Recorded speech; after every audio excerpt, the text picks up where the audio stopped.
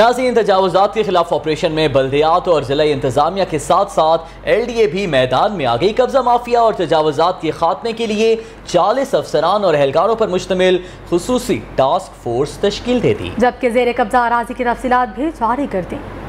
LDA ने जेर कब्जा अराजी की तफसीलात जारी कर दी। जेर कब्जा अराजी का रकबा 600 कनाल और मालियत अरबों रुपए में है। बसूरत दीगर इनके खिलाफ सख्त कार्रवाई का ऐलान भी कर दिया गया है। उधर D G L D A Amna Imran Khan की हदायत पर कब्जा माफिया और तजावजात के खात्मे के लिए 40 अफसरों और एहलकारों पर मुश्तमिल खसूसी टास्क फोर्स तश्कील दे दी गई है। तजावजात के खिलाफ ऑपरेशन के दौरान मुतल स्कीम के डायरेक्टर मौका पर मौजूद होंगे। इसके अलावा director land acquisition director law के नुमाइंदगान भी मौका पर मौजूद होंगे।